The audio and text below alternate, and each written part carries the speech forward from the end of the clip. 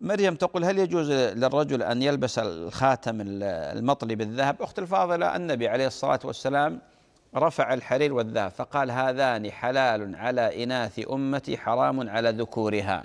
فالذهب والحرير محرم على الرجال مباح للنساء مباح للنساء.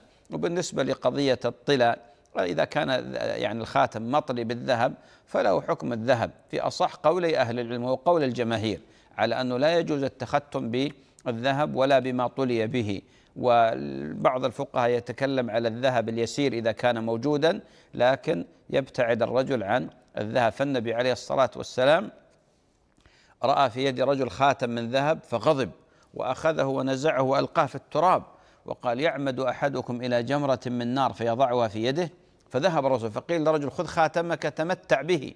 يعني بعه بع قال لا والله لا أنزع خاتما لا آخذ خاتما نزعه رسول الله صلى الله عليه وسلم. فقولي لزوجك يا أخت الفاضلة إذا كان لك زوج طبعا إذا كنت ذات بعل يتختم بالفضة. لأن الرسول عليه الصلاة والسلام لما سئل عن الفضة قال العبوا بها يعني آه، البسوها. ولباس الرجل للفضة الخاتم. أما يروح يحط لي سوار كالنساء لا أو قلادة لا هذا ما يجوز محرم. وإنما المقصود به الخاتم.